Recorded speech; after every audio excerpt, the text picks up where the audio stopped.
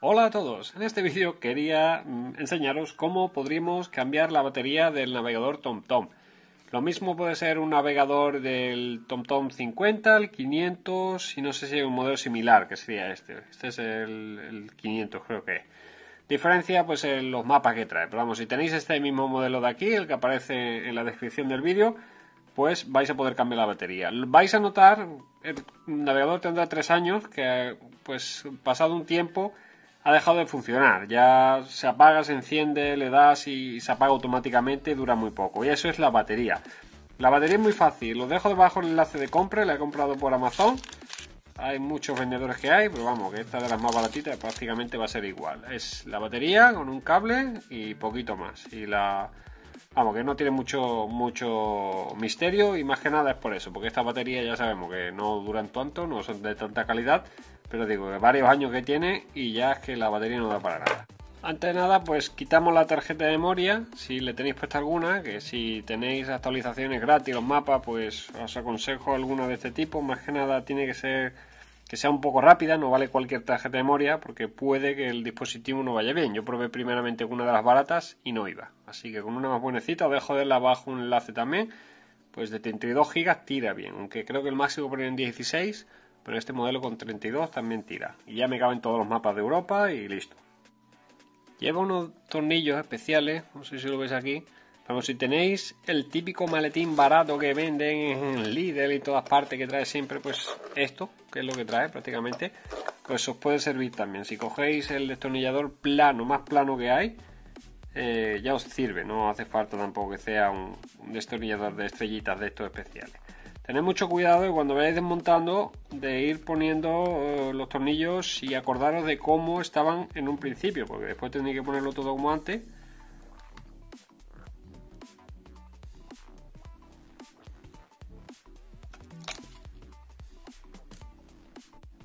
Para abrirlo tenemos que despegar esta parte del resto de la, de la carcasa, o sea, toda esta parte digamos por el mismo marco lo suyo es utilizar algo que no arañe, pero si no tenéis nada, pues coger un destornillador e intentar hacer el mínimo mueca o ayudaros de algo que, que amortigue, como en este caso un pequeño destornillador muy muy finito. El problema aquí va a ser no dejar muecas. Si no tenéis un accesorio especial para quitar pantalla, digamos que no me voy a comprar tampoco.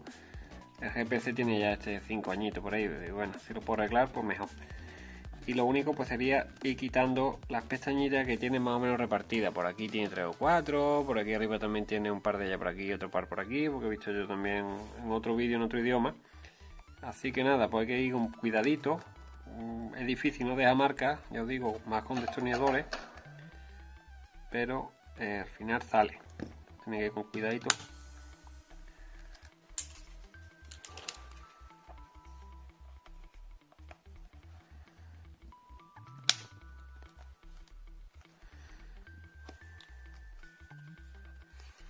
Veis se va despegando. Lo mejor utilizar algo de plástico pero siempre para abrir el primer trozo hará falta algo más duro.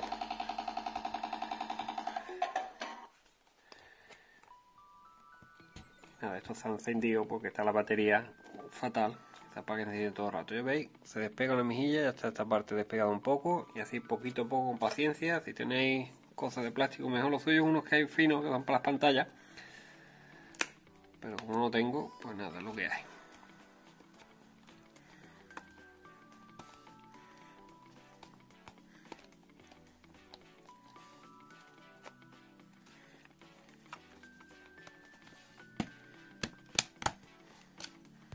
¿Veis? Ya se va abriendo, se ven viendo ahí los pinchitos.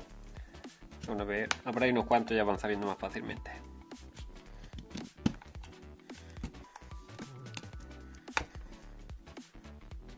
Veis la diferencia. Aquí está abriendo y aquí todavía no.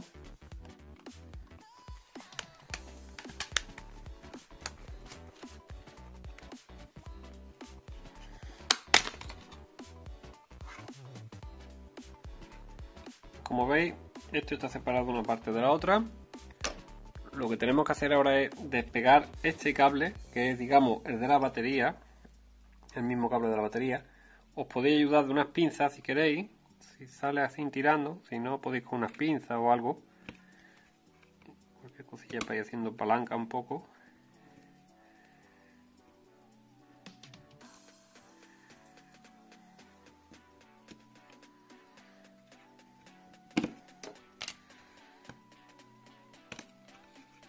Y este, este cable de aquí también tenéis que sacarlo porque hay que despegar esta placa.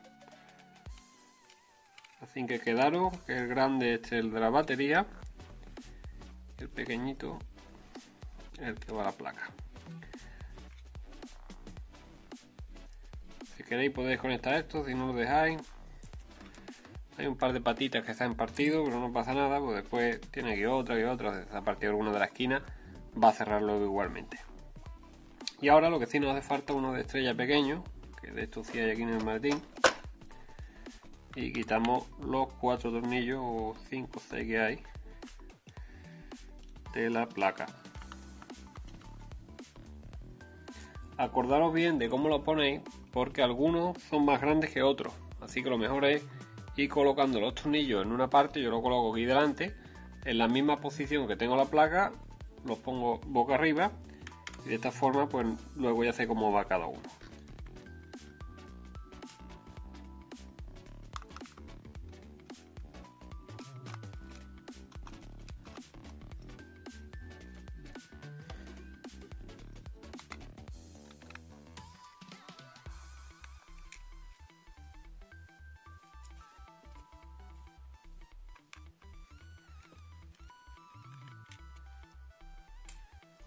Lo ponéis aquí como ya eso, ¿veis? En la misma posición de que estaban en la placa y de esta forma luego cuando los monte ya sé dónde va cada uno de los tornillos.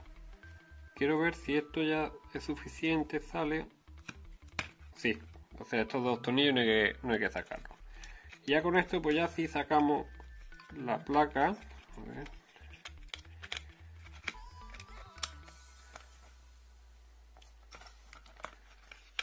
Debajo y listo la despegamos con cuidado y aquí tenemos la batería.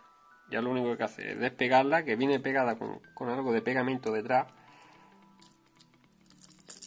Ahí está listo. Y la nueva no me trae pegamento. Pero yo tengo también cinta de doble cara así que le voy a poner y ya que se quede exactamente igual.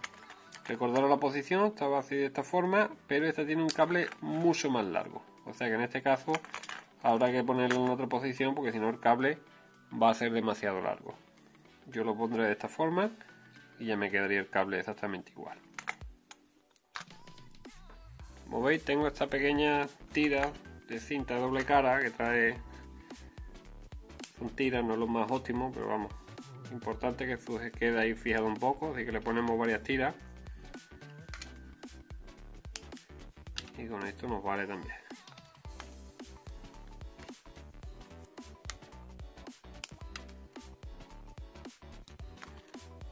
Ahora despegamos la doble cara, fijamos bien.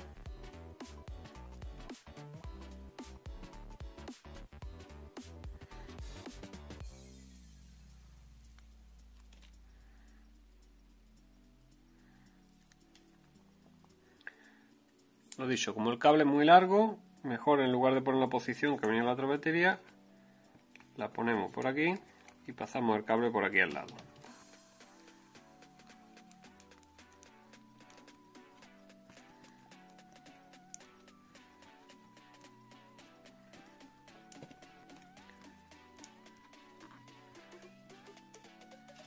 Y ahora pues repetir la operación a la inversa. Colocamos la placa poquito a poco cuidado con este cable que sobresalga los dos cables que han de sobresalir por aquí arriba para volver a conectarlo. Este que es el que va del altavoz creo que es. Se conecta. Luego el de la batería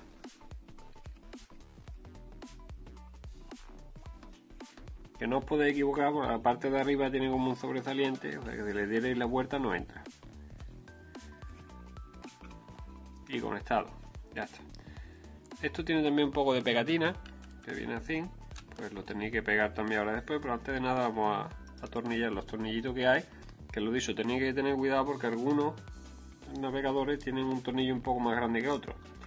Así que lo mejor es siempre tener eh, saber dónde, va, dónde estaba cada tornillo para volver a ponerlo.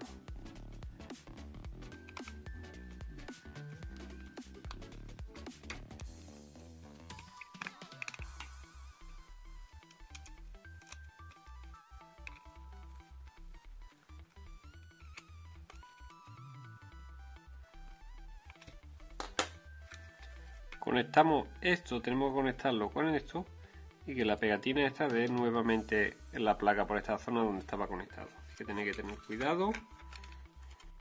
Encaja muy fácilmente, difícil pillar el punto, pero encaja fácil. Y ya está. Ya esto lo podéis pegar aquí un poquito. Y listo. Y como veis, enciende. Así que funciona perfectamente. Y nada, pues ya lo único que tenemos que hacer es volver a cerrar esto poquito a poco. Las pestañitas que vayan encajando. Que lo he dicho, que hace partido alguna, veréis que no pasa nada porque no, no se va a quedar despegado por ninguna parte. Y listo, ya hay que poner nada más los dos tornillos estos pequeños que hay aquí. Que es un tornillo de Torx, pero si no tenéis, como en mi caso, pues ya os digo, y cogéis del maletín este el, el de estrella más fino que el de el destornillador plano más fino que haya os va a valer. Este no es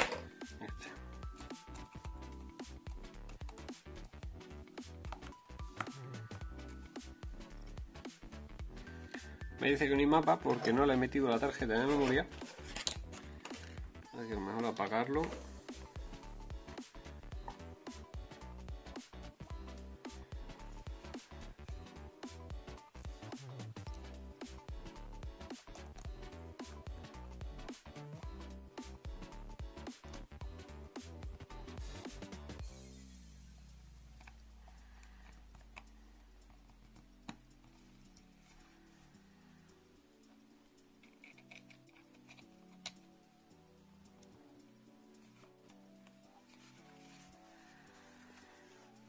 Y ya por último encendemos para ver si va correcto.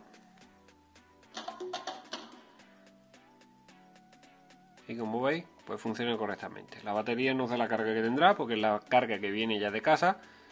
Pero ya está. Lo único pues esperar que tarde en encender bastante, porque me tengo todos los mapas de Europa descargados.